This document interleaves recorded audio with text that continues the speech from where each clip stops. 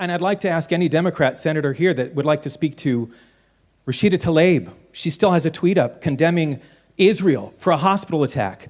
And Uh, stop. it's not a No, it's a fair question, Senator Graham. we are here together, not to talk about the problems at home, which are many. It's a fair I've question, got my Senator. own view of what to say. You're Please, not going to screw this up. I'm not trying to screw it Get up. Get this guy out of here.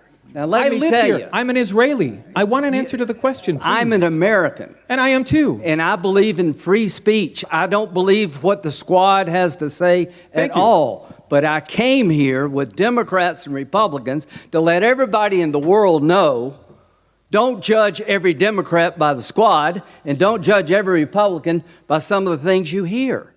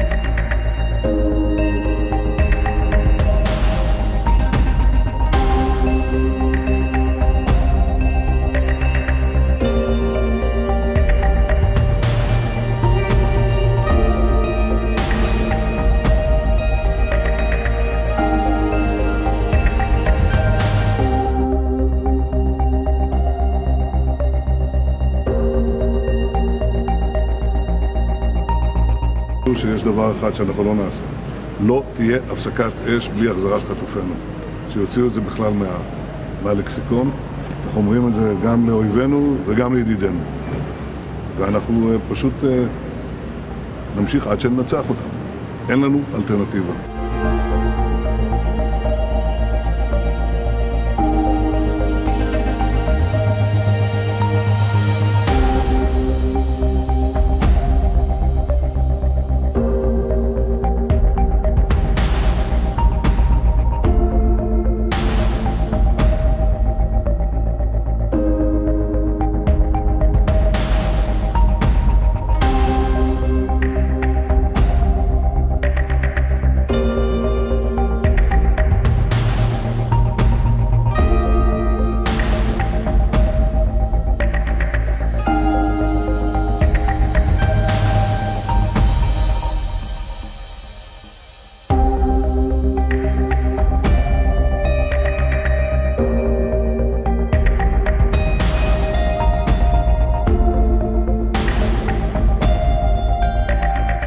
Continuo a pensare alla grave situazione in Palestina e in Israele, dove tantissime persone hanno perso la vita.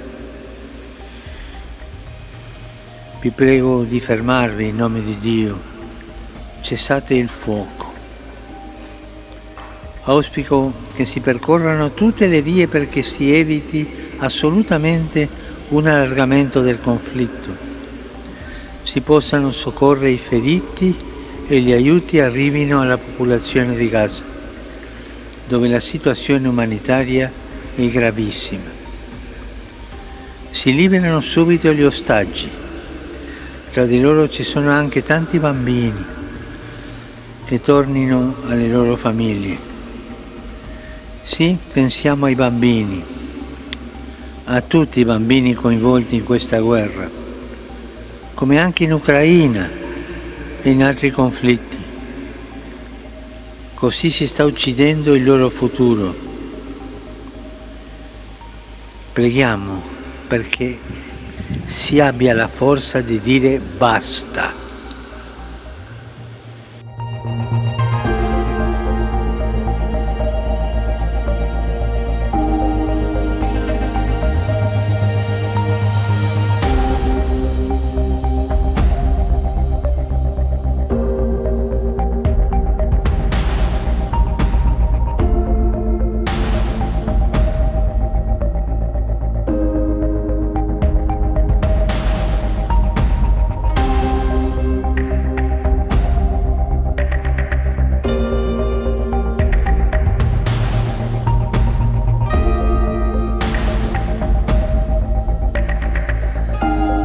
إن تصريح ما يسمى وزير التراث في الحكومة الصهيونية بأن إلقاء قنبلة نووية على قطاع غزة هو أحد الحلول لم يأتي من فراغ وإنما هو تعبير عن مستوى الانحطاط والنازية والسادية التي تدور في أروقة وعقل حكومة الكيان المحتل القائم على القتل والإبادة الجماعية والتعامل مع الآخر على أنهم حيوانات بشكل البشر كما ورد على لسان وزير حرب الاحتلال بيني غانتس في الأيام الأولى لهذا العدوان الوحشي على شعبنا في قطاع غزة.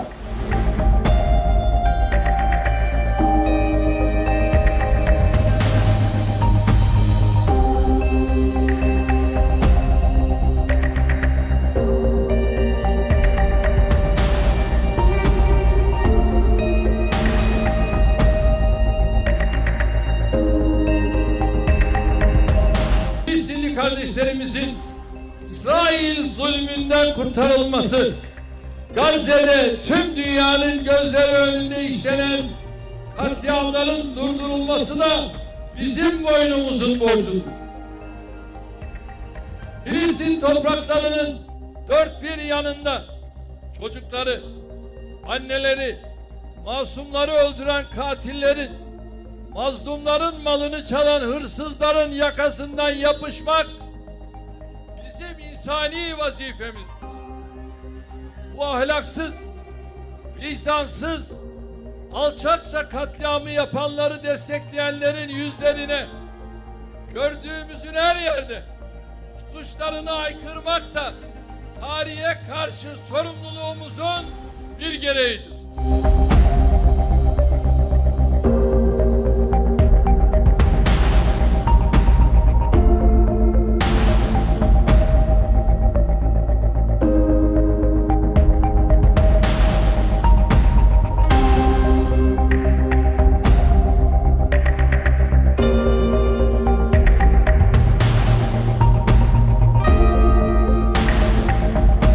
McCarthy had said there were communists everywhere taking over America. Look at us 50 years later. Big government runs everything. They tell you what size your light bulb can be, uh, what type of toilet you can have, where your kids can, you know, just everything's controlled now. But it's communism by the banks. They take your money and then give it to themselves through the government. But as soon as Joseph McCarthy, and if you understand this, you understand everything. As soon as Joseph McCarthy realized and went public and said, I've discovered the communist conspiracy is run by the Pentagon. and they said, Excuse me, you're saying that the commies in Russia have infiltrated the Pentagon. And he said, No. I mean, go read his speeches. He said, No, the Pentagon is the communist. There were several meetings with Roosevelt and Churchill that they had at the end of World War II after Roosevelt died, meetings with uh, Stalin and, of course, uh, Harry Truman. And, and those were public meetings you know, that they announced each time months after it had happened. And he talks about in there how the Soviets, who'd been our ally during World War II, you know, the West said, How do we set up a police state domestically? How do you set up a police state? You need an enemy. And they said, Well, uh, we'll, we'll demonize you, you demonize us. We'll cover your atrocities, you'll cover ours. And then we'll have proxy wars with each other so we don't ever have to nuke each other. And we'll take half of a country and you take the other half. You take half of Korea, we take the other half, half of Vietnam, the other half. We take half of Europe, which they divided Germany in half, of course, and took over uh, half of Eastern Europe. We'll divide it all in half with you. And that would, at first, was even public. And it was all staged, every stinking bit of it. Oh, it's not staged when you're in a foxhole you know, fighting communist. But it's staged when you're in the upper command and you're not allowed to bomb actual factories in the north. I mean, if you want to defeat the New World Order, folks, you've got to understand their master strategic planning and why they're so hard to beat. And stop thinking black versus white, Christian versus Muslim, you know, uh, two-dimensional game of checkers. This is chess, but at multi-level. It's like playing 10 chess games at once, folks, with millions of different factors coming in. Hello, what's up there? First of all, before I get too involved here, here, ale, Christmas ale, made in the Great Lakes, with eh, you know, Christmas ale with spices and honey. Very good beer. Never had this beer before. I got it on sale Meijer's today. Cheerio. Ah, but more on a serious note here. You know, that clip in the beginning there where Lindsey Graham was kicking out a reporter who was trying to ask a legitimate question, basically.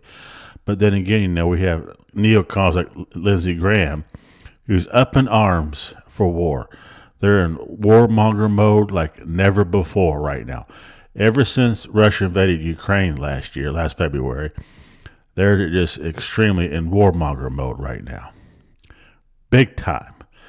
And they're not realizing or probably even care what kind of wor- what kind of worms they're opening up here, you know?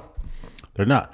Now Mike Adams makes great videos. I'm put a link at the end of this video. Please watch it. He makes some good points. One point he made, you know, those who cause for those who cause for war basically will die in a war. Here's the thing. We have Iran right now pressuring the United States like never before they demanded the United States pressure Israel to do a ceasefire in the Gaza Strip.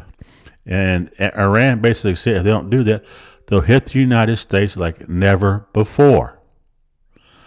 So what does that tell you? And that Netanyahu basically said there will be no ceasefire. We have, you know, Israeli Air Force bombing a refugee camp in the Gaza Strip, killing several civilians, a lot of them including children right now. I mean, it's a massacre. It's a massacre in the Gaza Strip like never, never before. We haven't seen this much death and destruction since World War II. This is no joke, folks. No joke at all right now. I believe this is pre-planned, premeditated right here of what they're doing right now. Okay, it's got people in the states and all over the world up in arms right now. Okay, on both sides, right now. You know, using all these key gas these key gaslit words, you know, anti-Semitic, Islamophobe, all this other nonsense. They're throwing out there right now. Now, I'll say this for myself: I'm not pro-Israel or pro-Palestinian. Basically, I'm not Israel side or Palestinian side. I'm just telling the truth how I see it. Okay. And uh, those of you who's calling for war, this big time war in the Gaza Strip, well, be careful what you wish for because you just might get it and we'll be in a situation like we never had before in U.S. history. You know what I mean? We'll be attacked. It'll make, it'll make like 9/11 seem nothing.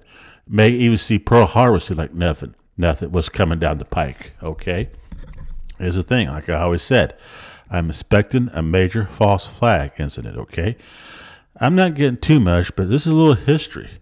The assassination of Archduke Franz Ferdinand was one of the key events that led to World War I. Archduke Franz Ferdinand of Austria, heir, heir uh, whatever, of the Austro-Hungarian throne, oh, heir to the primitive Austro-Hungarian throne and his wife, Sophia, Duchess of Hohenberg, were assassinated on June 28, 1914, in Bosnia, Serbia. Well, right now, well, Bosnia is, is, an independent country right now, but but those days, was uh, those days in World War One days, Bosnia was part of Serbia. Student, I'm not going to, Gavrilo Principi, his name, they were shot. They were shot at a close range while being driven through Sarajevo to provide cap provisional capital of the Bosnia-Herzegovina, formerly annexed by Austria-Hungary in 1908. So the assassination of the Archduke of the Austrian-Hungarian Empire, you know, a monarch there, what led to World War One. That was the spark that led it, right there. After that, it was a domino effect, and next thing you know, Europe caught itself in a major war, World War One, and back then they called it the Great War after it was over. World War II is a whole different story, but I'm not going to talk about World War II about this. And you might ask, why did I bring this up? Because I'm afraid something like that is going to happen pretty soon. I don't know, later this year or next year. Okay. I see maybe a key political figure get assassinated. That will spark this stuff, even, will spark off even more. Okay. We will be in a full scale global war, World War III, if you know what I'm saying a major, very much a major false flag event that's coming down the pike big time. You know, so, you know, all this shit, well, I believe, is playing. They want this shit to happen. Okay. Part of the Great Reset. Okay. We had the need, well, I'm not say this, but I say we had the Zionist Christians and the Zionist Jewish, Zionist Jews, the Zionist Christians is making all this happen. I believe high power Muslims is making this happen as well. So, to create some kind of great holy war, basically. Alrighty. The Zionists believe, the Zionist Jews believe, if we make if we make this happen, this great war, they'll get their Messiah. The Zionists, what I believe, the Zionist Christians think if we speed up Armageddon, basically, that we have the second coming of Christ. The Muslims, they're a whole different breed right there, so I'm not, not sure what their point is.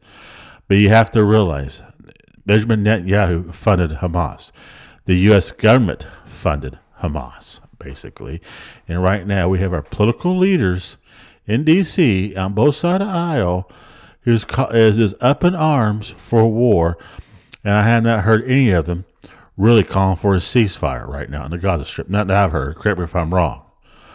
But here's the thing right here, okay?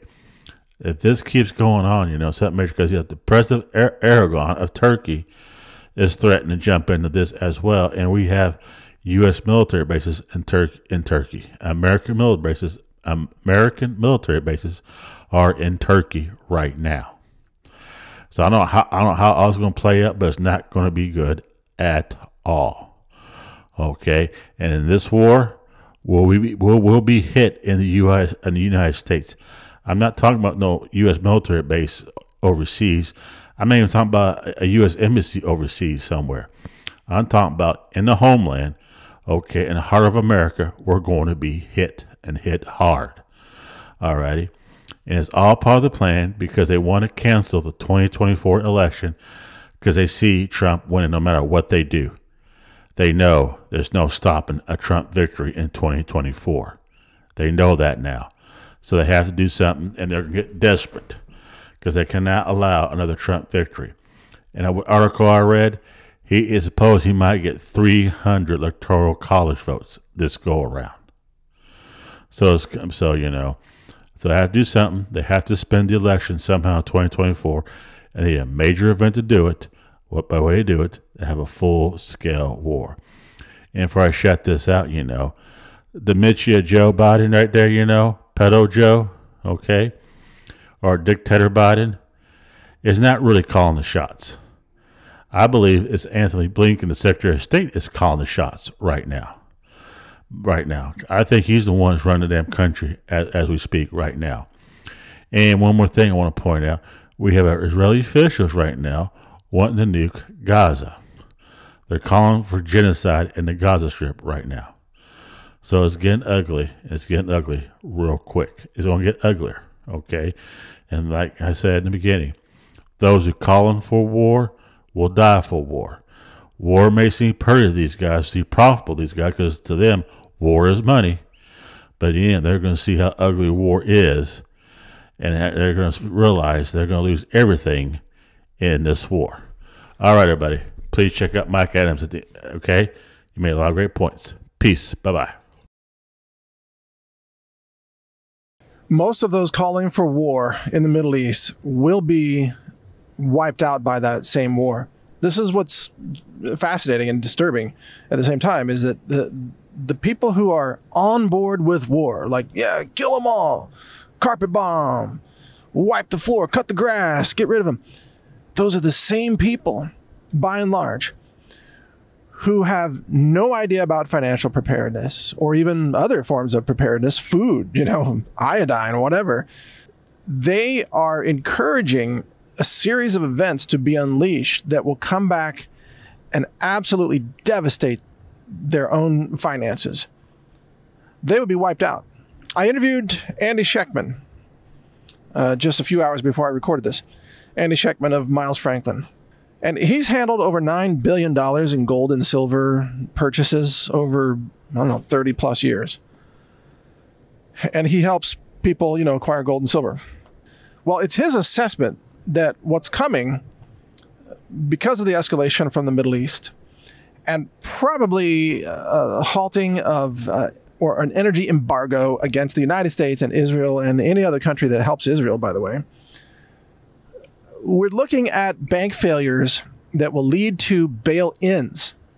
And he told me specifically that it's the bank bail ins that are going to freak people out and cause the next wave of financial panic. He said right now, he's actually a little bit surprised that there's really not much you know panic and not a lot of people are they don't have bank failures on their radar right now but the moment the first bank bail in takes place. And remember, that's when the bank asserts ownership over customer deposits and says, Your money is now our money. You, you know, you've become a creditor to the bank. And we, we might pay you over time some small percentage, you know, but you can't just come in and take your money out. It's ours now. It's our money. Like the minute that happens, all bets are off and then the bank runs will be attempted everywhere else, but that's going to lead to just closures and bank bail ins. So one bank bail in will spread to other bank bail ins. And at the end of the day, you know where this is going. The government's going to have to print, well, the Fed, trillions of dollars in more currency in order to bail out whatever banks it chooses to bail out. And that list will be selective. Janet Yellen has already assured us of this point that not all the banks will be bailed out. And even when they say they're bailing them out, doesn't mean the customers are going to get all their money back. It just means the banks are going to be protected so that they're not entirely insolvent. And it's only going to be selected banks that will be allowed to survive. And guess which banks those will be? Those are going to be the banks that have agreed to cooperate with the central bank digital currencies, the CBDCs that are coming government digital money that will be the whole program will be laundered through a series of globalist oriented banks such as JP Morgan, Chase, you know, Bank of America, Wells Fargo, Citibank, whatever. It's it's it's just a few banks. It's probably going to be fewer than a dozen banks remaining in America by the time this is all said and done. And most people will lose almost everything. And yet, as I said, opening this up, these same people are cheering for war. Go get them. When they don't realize that that war is going to devastate their own financial position.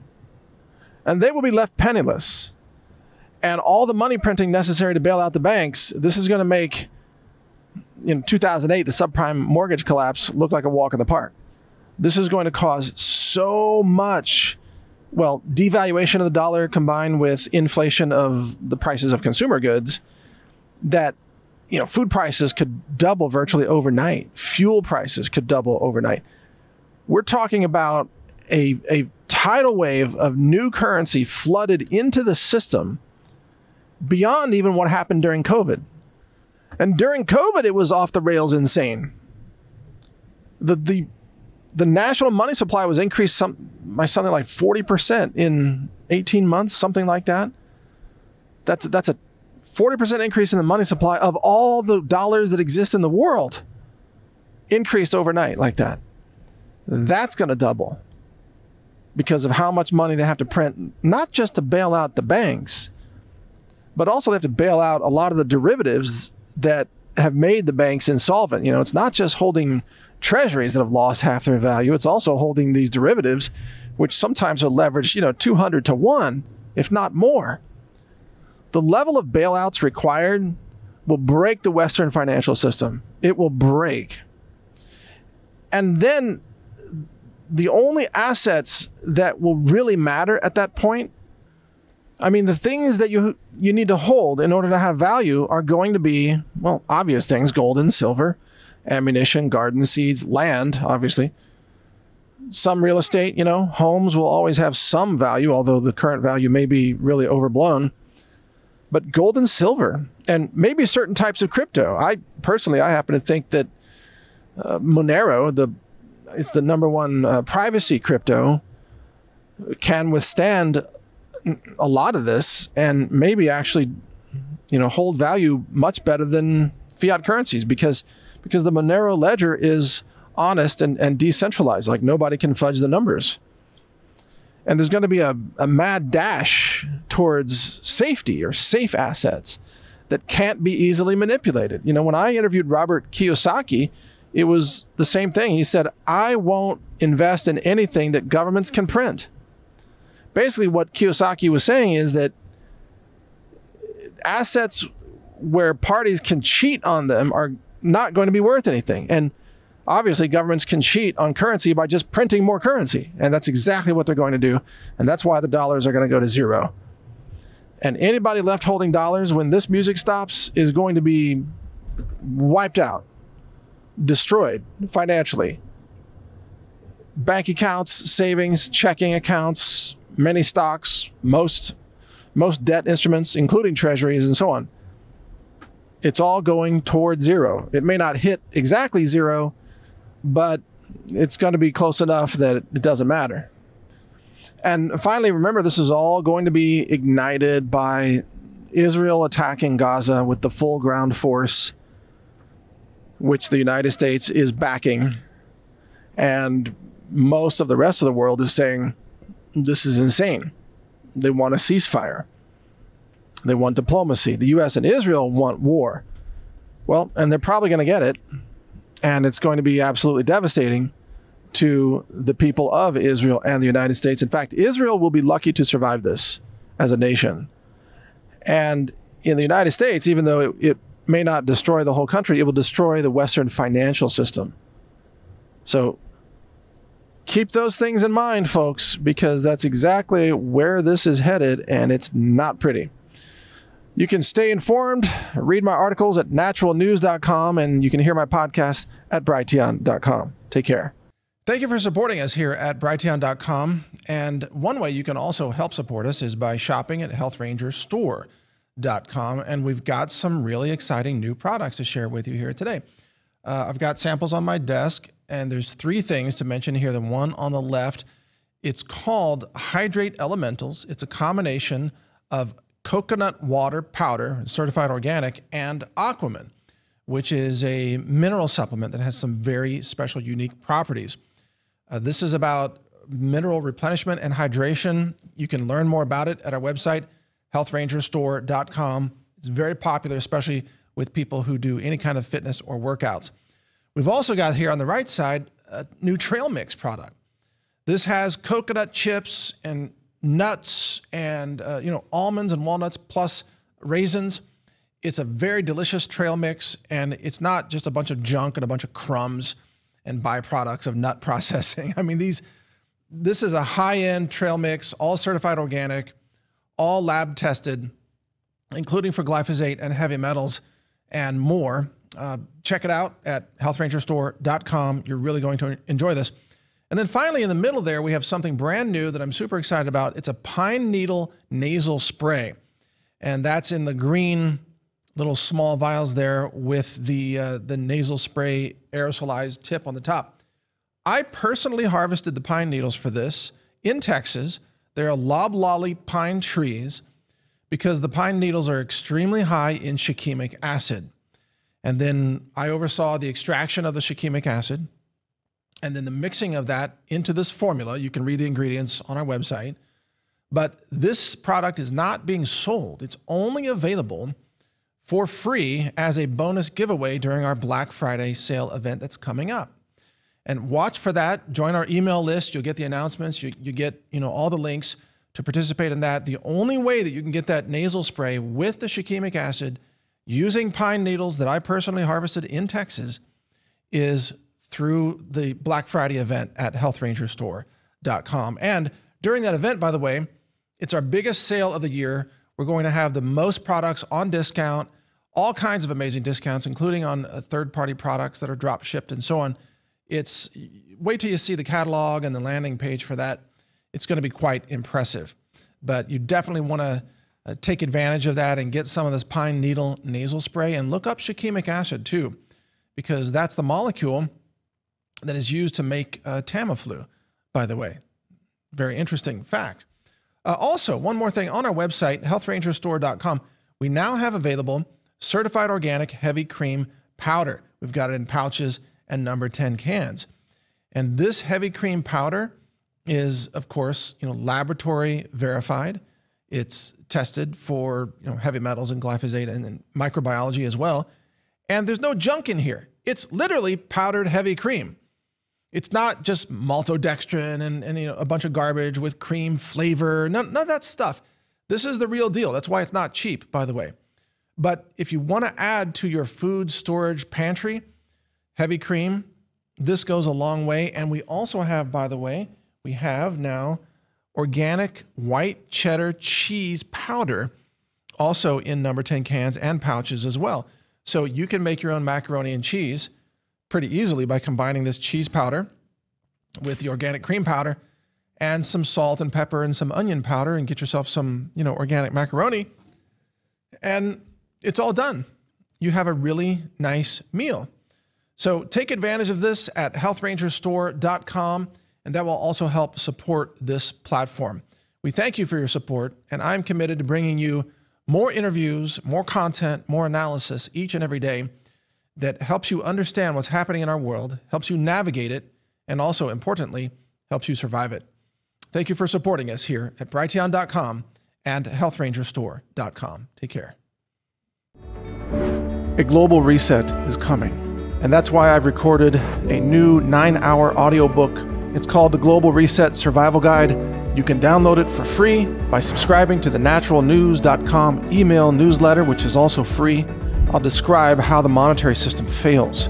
I also cover emergency medicine and first aid and what to buy to help you avoid infections. So, download this guide. It's free, it's my gift to you simply because I want like minded people to survive.